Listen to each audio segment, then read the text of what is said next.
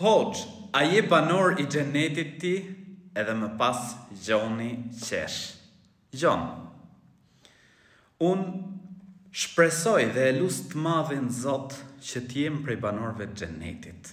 Unë e lus Zotin e gjithësisë që Të jem në xhennet me Muhammedin alejhi selam, të jem në xhennet me Isain, Jezusin alejhi selam, të jem në xhennet me Musain alejhi selam dhe me gjithë pejgambert e Zotit gjithësisë. Mundohem t'i zbatoj urdhrat e të madhit Zot, mundohem mos tallem me diçka prej fesë Allahut të lartësuar. Komentin ti e ke bërë në një video ku unë kam folur për xhenetin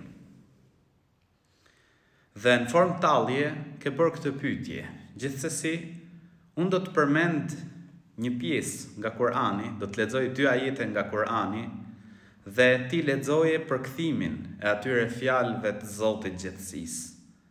Dhe ndoshta bëhen shkak këto dy ajete të Kur'anit që ti të meditosh, të reflektosh dhe t'i thërrasesh mendjes.